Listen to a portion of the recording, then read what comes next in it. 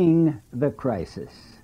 This is number five in this series on the New World Order.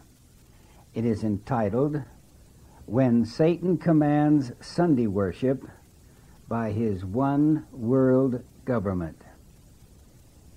Have you ever been caught in a mob riot? I can personally testify it's a most frightening experience. Years ago, while serving my Lord in the General Conference, I traveled to South America to encourage our youth to share their faith. One of the cities I visited was Santiago, Chile, nestled between the Andes Range and the Pacific Ocean.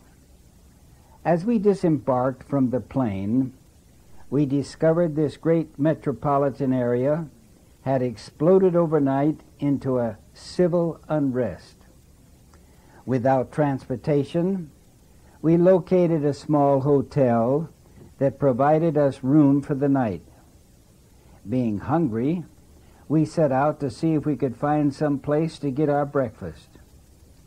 We had not gone far when we suddenly faced a large mob, armed with clubs and stones, rounding the corner.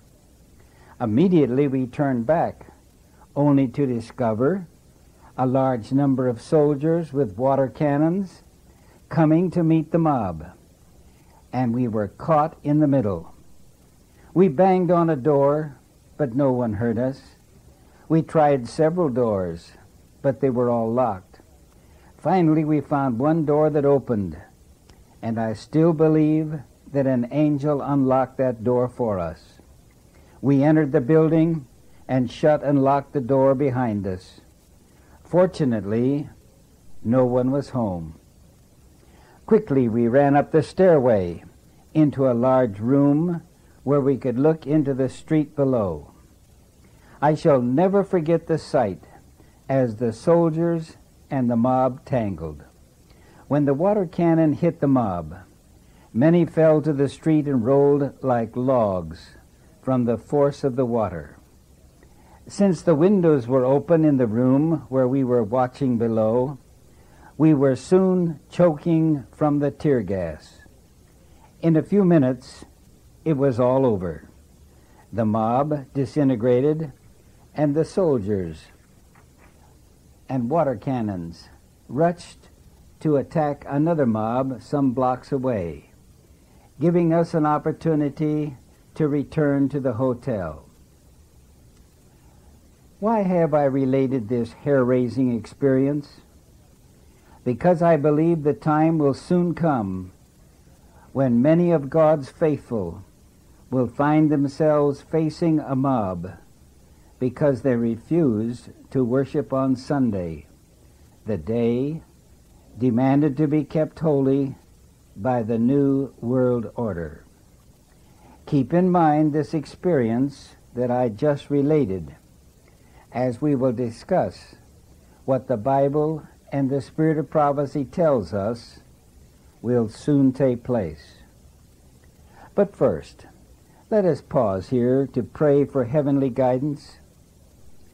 O loving Father, as we discover how Satan will personally reveal himself and take command in the coming battle of deception, we know that we will only survive by thy divine power.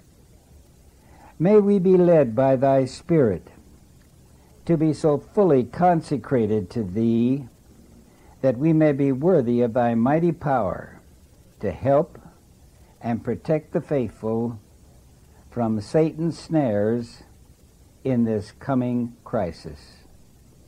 In Jesus' name we ask, Amen. Now, let us open God's Word and read 2 Corinthians 11, 14 to 15. And no marvel, for Satan himself is transformed into an angel of light. Therefore, it is no great thing if his ministers also, be transformed as ministers of righteousness, whose end shall be according to their works. For centuries, Satan has planted the idea in almost all Christian religions that as the millennium begins, Jesus will come to earth and establish his kingdom on this planet for a thousand years of peace. Now, what do you suppose Satan is attempting to achieve in such a false teaching? The answer is simple. What he did not achieve in heaven, he hopes to achieve here on earth. So, in order to accomplish this goal, he plans to personate Jesus in a false second coming. I quote As the crowning act in the great drama of deception, Satan himself will personate Christ. Great Controversy, page 624. And in Bible Commentary, volume 7, page 272, it says, In the last days, Satan will personally play a more direct role, culminating his deception by personally counterfeiting the coming of Christ. Ellen White further explains, and I'm quoting, In the last days Satan will appear in such a manner as to make men believe him to be Christ, come the second time into the world. Testimonies, Volume 5, page 698. These quotations give us a full explanation of 2 Corinthians 11:14, which reads, "And no marvel, for Satan himself is transformed into an angel of light." Let me again emphasize the question. What does Satan expect to achieve in personally counterfeiting the coming of Jesus Christ. The Spirit of Prophecy answers, quote, that gigantic system of false religion, the Roman Catholic Church under the leadership of the papacy, is a masterpiece of Satan's power, a monument of his efforts to seat himself upon the throne to rule the earth according to his will. Great Controversy, page 50. Ellen White continues that time is at hand when Satan will work miracles to confirm minds in the belief that he is God. Unquote. And what will be the result, I ask? Quoting again, men will be deceived and will exalt Satan to the place of God and deify him. Testimonies to Ministers, page 62. This helps us to understand the fulfillment of the last end time prophecies. For the New World Order is to develop a religio political world empire that will usher in this long expected millennium of peace. The spirit of prophecy confirms this, and I quote Papists, Protestants, and worldlings will alike accept the form of godliness without the power, and they will see in this union a grand movement for the conversion of the world and the ushering in of the long expected millennium. Great Controversy, page 588 and 589. This prediction about this millennium will be fulfilled before our very eyes in our day. I quote The spirits of devils will go forth to the kings of the earth and to the whole world, to fasten them in deception, and urge them to unite with Satan in his last struggle against the government of heaven. Great Controversy, page 624. I believe the following inspired statement is a good summary. Quote, Fallen angels upon earth form confederations with evil men. In this age, that is our time, Antichrist, that's Satan, will appear as the true Christ, and then the law of God will be fully made void in the nations of the world. Rebellion against God's holy law will be fully ripe. Testimonies to Ministers, page 62. Likewise, the Bible is very positive that in the end time the whole world will worship the dragon, which is Satan, and they will also worship the beast, the papacy. I am reading Revelation 13, verse 4. And they worshipped the dragon, which gave power unto the beast, and they worshipped the beast. Thus, there is no doubt the main issue in this end time test will be a matter of worship. At this time, every individual in the world will be forced to make the decision who is the highest authority in your life?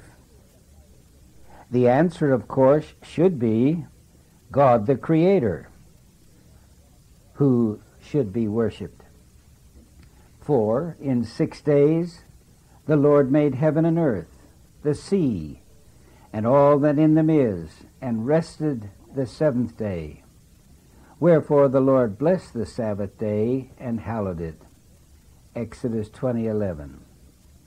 But Satan's ultimate intention concerning those who worship their creator is clearly revealed in a vision given to Ellen White in which she saw Satan with his demons in a meeting discussing how to deal with those who would not worship Satan by honoring Sunday as a holy day. She heard Satan state, and I quote, We will finally have a law to exterminate all who will not submit to our authority. Testimonies to Ministers, page 473. And listen to the results I'm quoting. The whole world is to be stirred with enmity against Seventh day Adventists because they will not yield homage to the papacy by honoring Sunday, the institution of this anti Christian power. It is the purpose of Satan to cause them to be blotted from the earth in order that his supremacy of the world may not be disputed. Testimonies, page 37.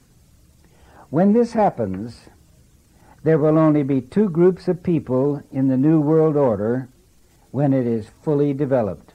The first is Great Babylon, under the leadership of the papacy. Those involved with this power receive the mark of the beast. The second group are God's last remnant who receive the seal of the living God. Please note in the following quotation that the last remnant have a designated name. I quote, The whole world is to be stirred with enmity against Seventh day Adventists. Testimonies to Ministers, page 618. In other words, if he eradicates God's people from the earth, then Satan will win the great controversy. He will live forever, and the whole world will worship him as God. This is his purpose, his goal, and his aim. And he expects to achieve this by, first, personally counterfeiting the second coming of Jesus Christ, and, second, by eradicating God's people from the earth.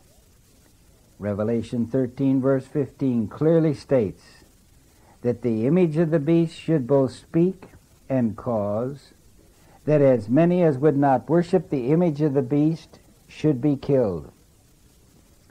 In this verse are mentioned two words, speak and cause. What do these words mean? Speak means legislation. Cause means enforcement.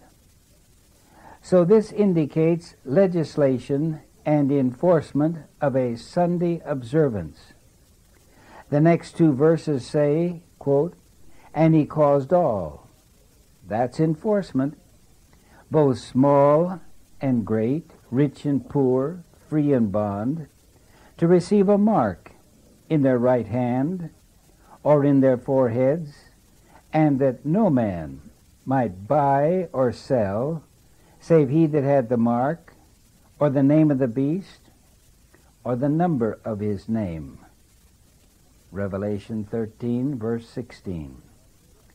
I'm quoting. Rome is aiming to reestablish her power, to recover her lost supremacy. Her former persecution will be repeated. Great Controversy, page 581.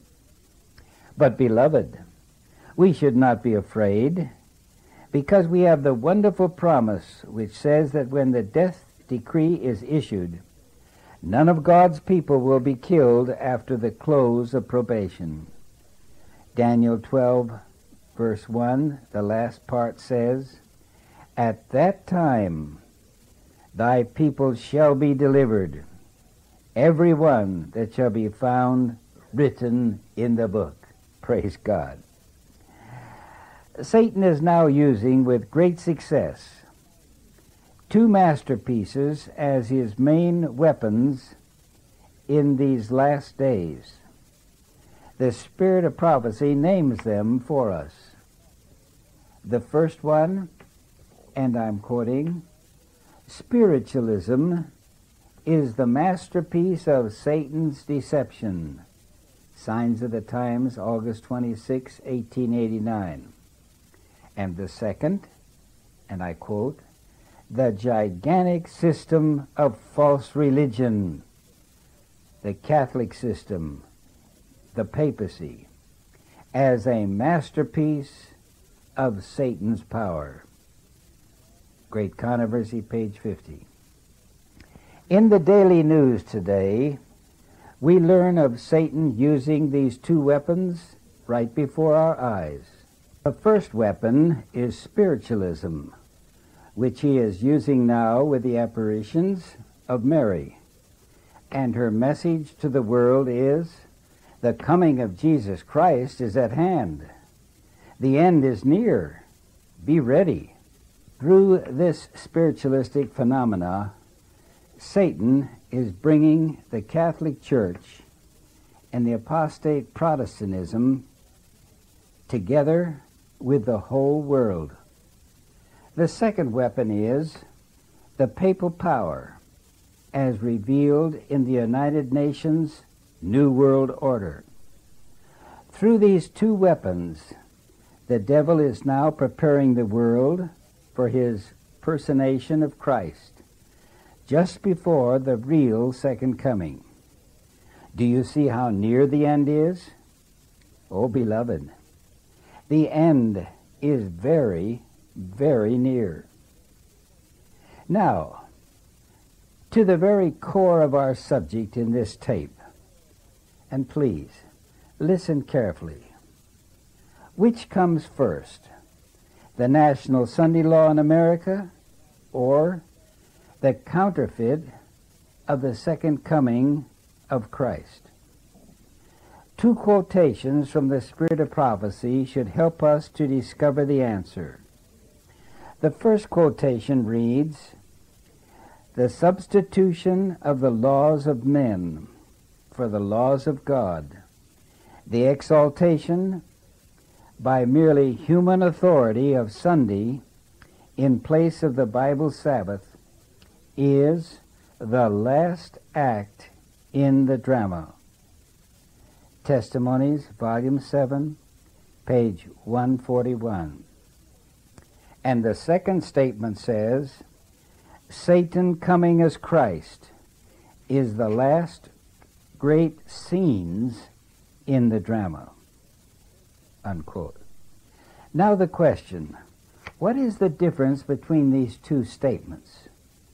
The difference is that in the first statement it says the last act is the Sunday law.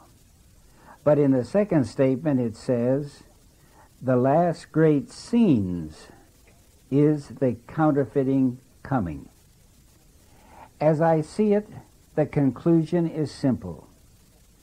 God, through his last prophetess, predicts that the Sunday law will be the last act in the drama.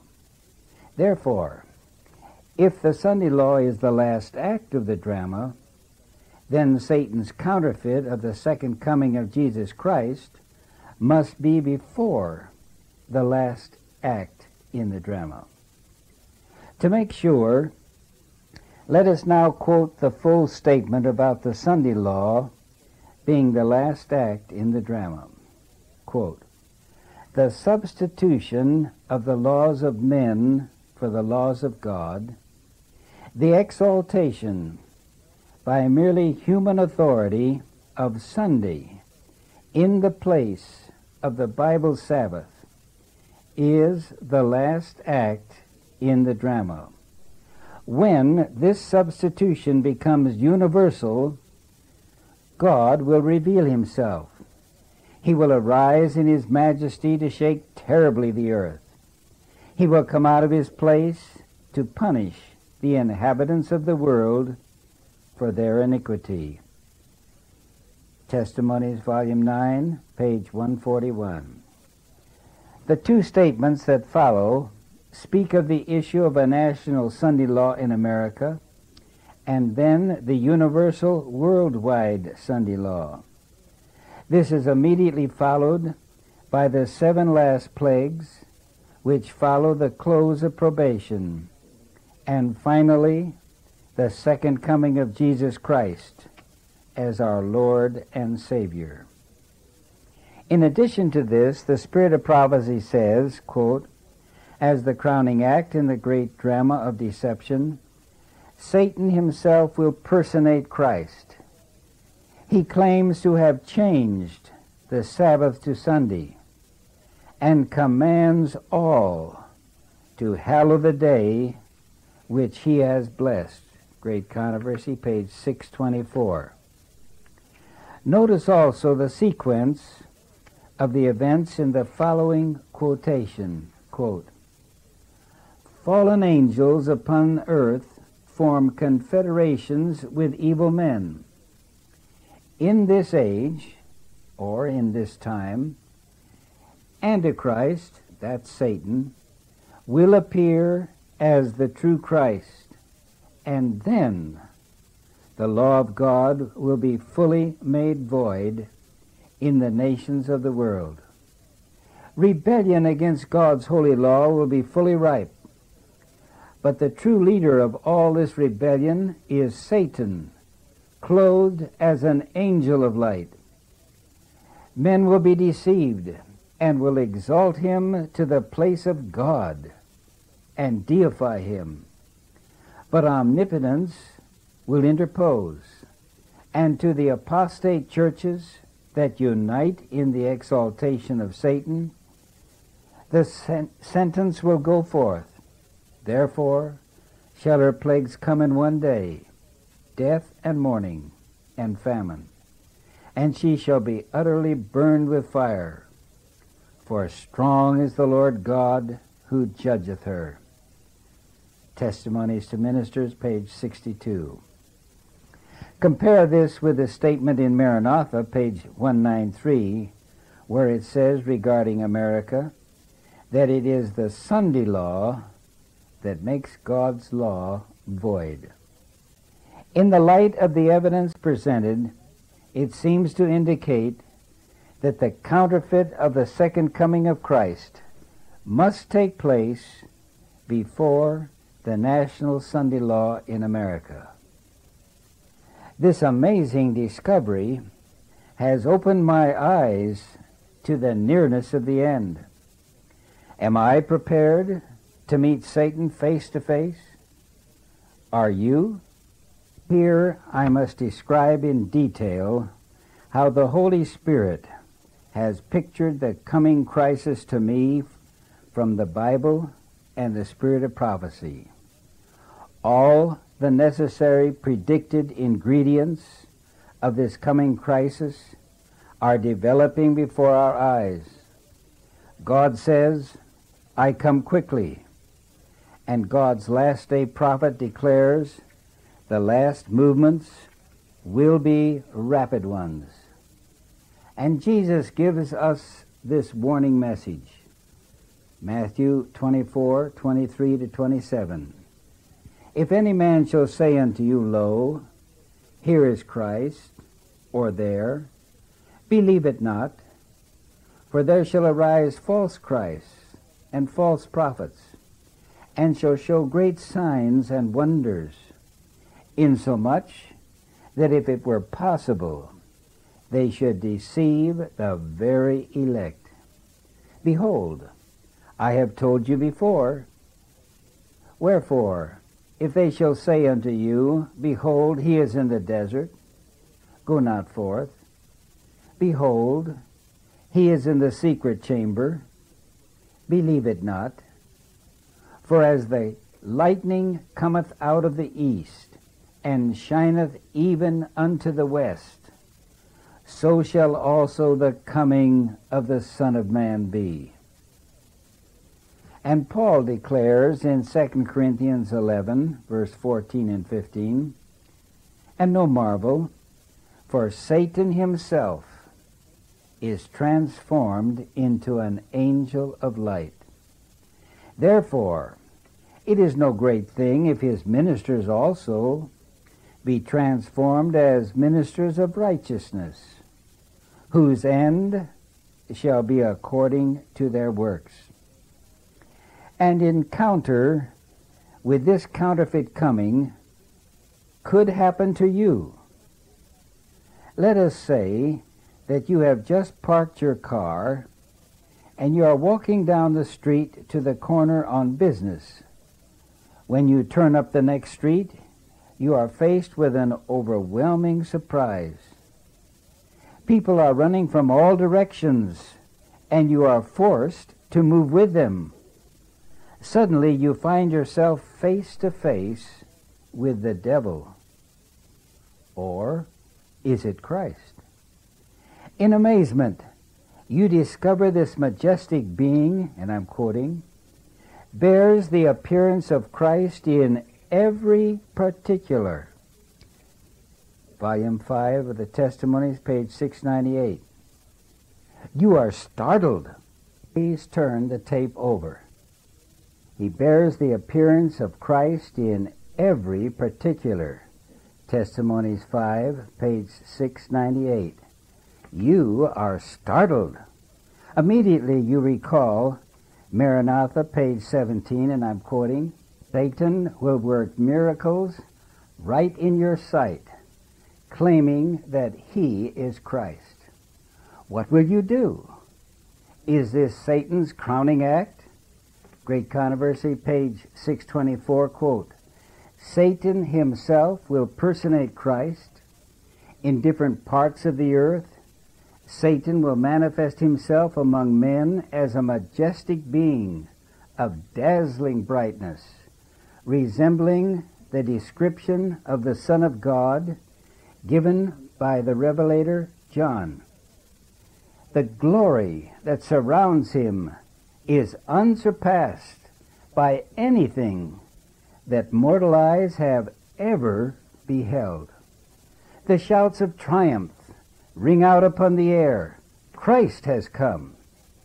The people prostrate themselves in adoration before him, while he lifts his hand and pronounces a blessing upon them, as Christ blessed his disciples when he was upon the earth. His voice is soft and subdued, yet full of melody. In gentle, compassionate tones, he presents some of the same gracious, heavenly truths which the Savior uttered. He heals the diseases of the people, unquote. You watch in amazement as cancerous growths disappear before your eyes. You see cripples jump and run for joy. The crowd proclaims him to be the Christ. And then comes the final test. He claims to have changed the Sabbath to Sunday and commands all to hallow the day he has blessed. He declares that those who persist in keeping holy the seventh day are blaspheming his name by refusing to listen to his angels sent to them with light and truth. You feel like he is pointing you out to the crowd. Then you hear, His blessing is pronounced upon the worshippers of the beast and his image, the very class upon whom the Bible declares that God's unmingled wrath shall be poured out. Great Controversy, page 624 and 625. What can you do? In this crowd, there are some who recognize you. They know you to be a Seventh day Adventist. As the crowd kneels in worship to this devil who is impersonating Christ, they watch to see if you will kneel. If you remain standing, you will soon discover a mob spirit developing to destroy you. Am I making this too real? Oh, friend, make no mistake. This will happen to some of us. God may help you to escape as he did for me in the city of Santiago, Chile. But you feel the need of fellow believers to extend courage and help. But you soon discover that your closest friends have been so deceived by Satan's deception that they shun you. Within a short time, you are stunned to find out that since Satan is appearing all over the world as Christ, millions of Seventh day Adventists have given up the truth and joined with Babylon. The following quotation resounds over and over in your ears. I'm reading from Bible Commentary, Volume 7, page 911. The church may appear as about to fall, but it does not fall. The sinners in Zion will be sifted out, the chaff separated from the precious wheat. This is a terrible ordeal, but nevertheless, it must take place. Unquote. In keeping with Satan's demands, a New World Order law is enacted demanding you to keep Sunday holy for this counterfeit Christ claims to have changed the Sabbath to Sunday. Are you listening? He commands all to hallow the day he has blessed. Unquote. Suddenly, you find yourself without a job and a law that you cannot buy or sell. Every earthly support is removed you are hated, despised, and held responsible for all the troubles in the world because you refuse to obey the counterfeit Christ. You are taken to court and you are charged with treason. And more surprising, you discover that those who you thought were genuine Christians are in the court to testify against you. Now you must stand alone. Just as Christ stood by himself when all his disciples fled and forsook him.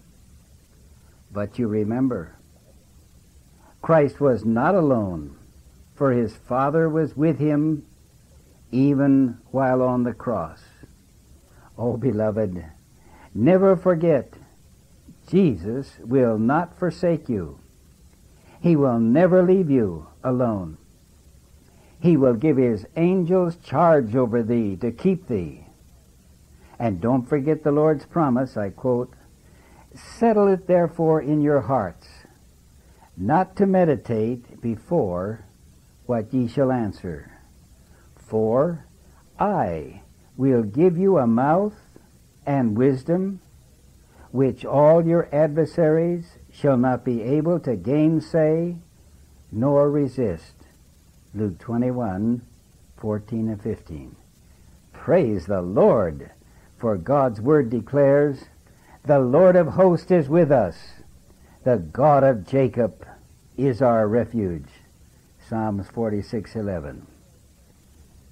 Now before we conclude this study of the new world order to enforce Satan's command to worship on Sunday, I would not be a faithful watchman on the walls of Zion if I did not tell you that we shall also meet a similar problem within the church. Don't think for a moment that this will never happen, for probation closes for the church before it closes for the world.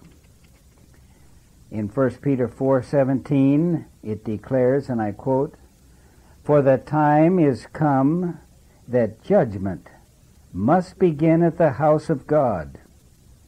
And if it first begin at us, what shall the end be of them that obey not the gospel of God? And the prophet Ezekiel teaches the very same truth in Ezekiel 9, 3 to 6.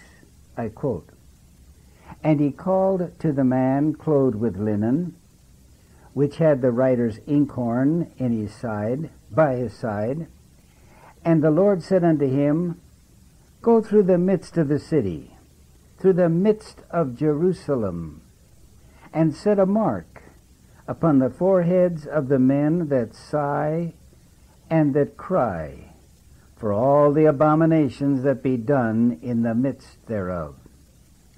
And to the others he said in mine hearing, Go ye after him through the city, and smite.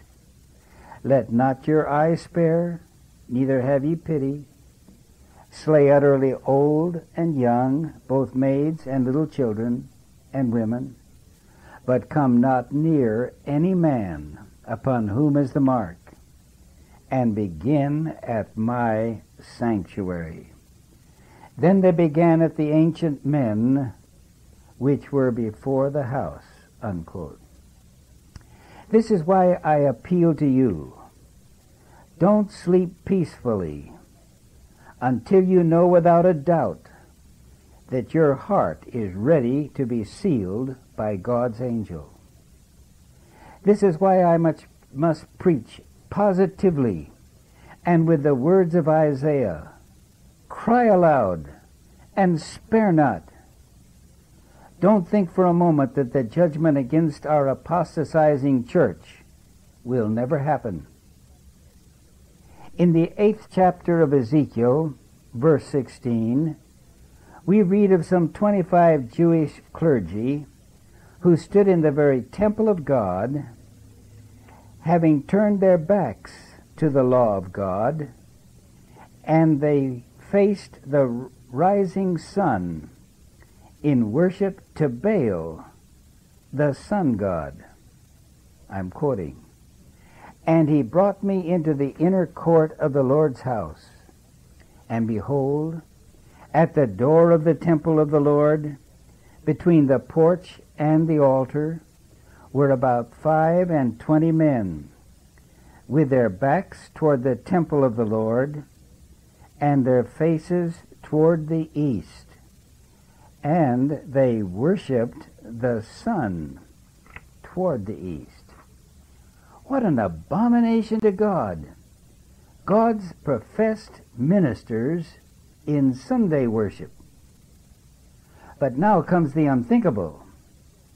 God, through his end time servant, tells us that this will happen again. I'm reading letter H, 31A, 1894, in regards to this scripture, and I quote The Lord reads the heart as an open book. The men who are not connected with God have done many things after the imagination of their own evil hearts.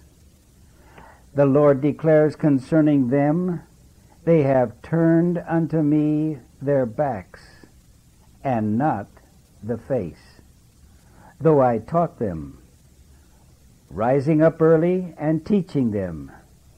Yet they have not hearkened to receive instruction. We are amid the perils of the last days. The time will soon come when the prophecy of Ezekiel 9 will be fulfilled to the very letter. Notice in this quotation that the servant of God states that these ministers have turned their backs toward God and not their faces. This is exactly as it is described in Ezekiel 8, verse 16. And it will be fulfilled again to the very letter. So we may expect apostate Adventist preachers to openly encourage participation in the ecumenical movement of this new world order of the papacy, knowing full well that the ecumenical movement of unity and love has but one purpose to eventually lead our church members to worship on Sunday and receive the mark of the beast. Quote, the Lord has a controversy with his professed people. Did you notice that? With his professed people in these last days. In this controversy, men in responsible position will take a course directly opposite to that pursued by Nehemiah. They will not only ignore and despise the Sabbath themselves, but they will try to keep it from others by burying it beneath the rubbish of custom and tradition. In churches and in, in large gatherings in the open air, ministers will urge upon the people the necessity of keeping the first day of the week. There are calamities on sea and land, and these calamities will increase, one disaster following close upon another, and the little band of conscientious Sabbath keepers will be pointed out as the ones who are bringing the wrath of God upon the world by their disregard of Sunday. Review and Herald, March 18, 1884. And we are further, further warned, and I quote, Then there will be a removing of the landmarks and an attempt to tear down the pillars of our faith. A more decided effort will be made to exalt the false Sabbath, and to cast contempt upon God Himself by supplanting the day He has blessed and sanctified. Bible Commentary, Volume 7, page 985. And so, friend, there you have it. The test will come from within as well as from without. God has given us sufficient counsel whereby we can clearly draw the line between truth and error. I'm reading from Faith and Works, page 45. Quote, Satan has come down in these last days to work with all deceivableness of unrighteousness in them that perish. His satanic majesty works miracles in the sight of false prophets, in the sight of men, claiming that he is indeed Christ himself. Satan gives his power to those who are aiding him in this deception. Therefore, those who claim to have the great power of God can only be discerned by the great detector the law of Jehovah. The Lord tells us, if it were possible, they would deceive the very elect. The sheep's clothing seems so real, so genuine, that the wolf can be discerned only as we go to God's great moral standard and there find that they are transgressors of the law of Jehovah. Unquote. Friend, will you now bow your head in worship to Christ, our Lord, and promise Him that you will never disobey His law?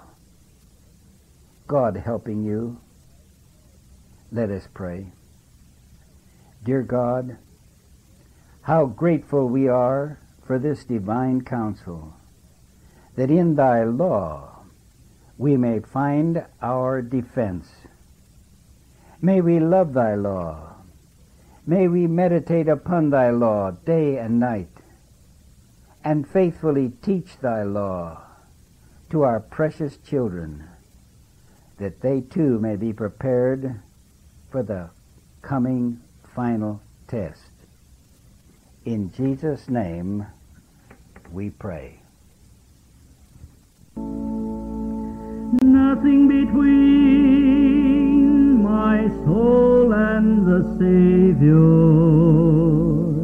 not of this world's delusive dream. I have renounced all sinful pleasure.